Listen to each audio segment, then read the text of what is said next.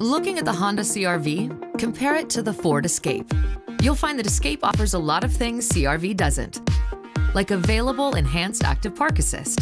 You won't think twice about parallel or perpendicular parking again. Escape also tows up to 3,500 pounds. That's more than double the CRV. Escape is also a Consumer's Digest Best Buy Award winner. CRV is not.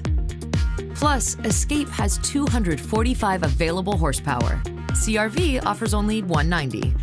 Going further to deliver smart features. That's Ford. And that's how you become America's best selling brand.